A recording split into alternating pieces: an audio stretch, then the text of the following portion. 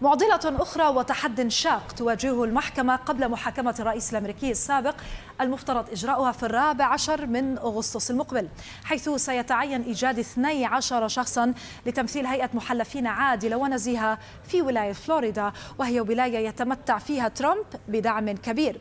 هؤلاء عليهم التزام الحياد والتخلي عن أي أفكار أو آراء مسبقة بشأن ترامب ما سيصعب المهمة.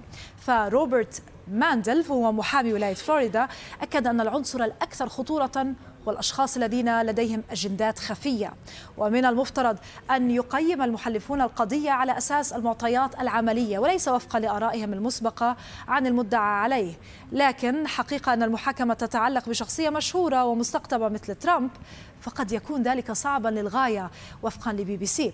فخلال عملية اختيار هيئة المحلفين يمكن للطرفين أي الدفاع والادعاء استخدام كل أداة ممكنة بينها الاستجواب العدواني والمختصين النفسيين لمساعدتهم على التخلص من المحلفين المتحيزين. علما بأنه ولثبوت الإدانة يتعين على هيئة المحلفين الإجماع على ذلك القرار. أما تصويت محلف واحد فقط لصالح ترامب فيعني خسارة حكومة الولايات المتحدة لقضيتها ضد الرئيس السابق.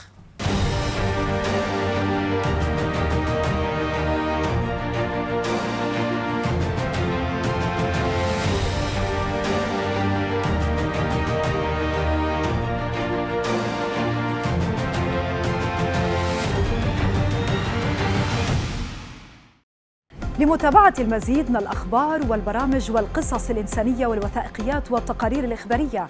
لا تنسوا الاشتراك في قناتنا على يوتيوب الضغط على زر الإعجاب وتفعيل جرس التنبيهات.